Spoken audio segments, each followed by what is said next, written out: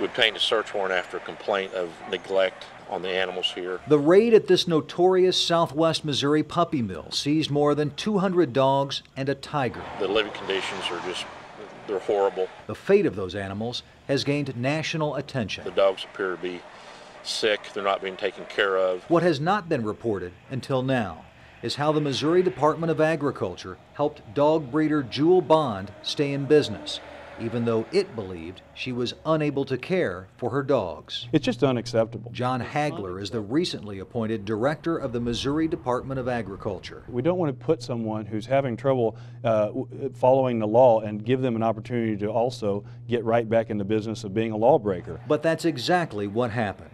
Since 1993, federal inspectors have cited Bond for repeated violations, including unsanitary conditions, not having bedding for dogs, rusty cages, and no heat for some animals during freezing temperatures.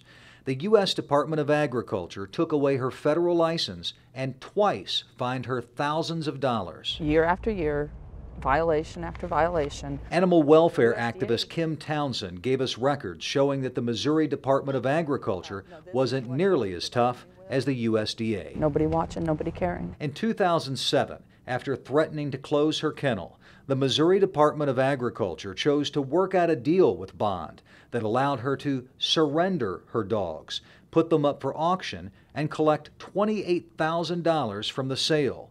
The bill from the sale, obtained from the Department of Agriculture through an open records request, shows Bond spent $3,400 buying her own dogs back at the same auction. Some of those dogs are believed to be among the ones seized just a few weeks ago. How does something like that happen? To tell you the truth, I, I don't know how it happens, but it is the very same question that I ask our department. Animal welfare groups say Bond also bought dogs at other auctions. She was at every dog auction buying dogs. The Department of Agriculture is often at those dog auctions. They know what she looks like. They knew she was there buying dogs. So if they're claiming ignorance, it's their own fault. They turn a blind eye. We appreciate the issues that you've brought to light. Horrible conditions for the animals. We want to do better than that. I think we can do better than that, and we will do better than that. Jewel Bond was facing prosecution two years ago, but avoided charges by surrendering her dogs. Bond will not profit from the raid that happened last month.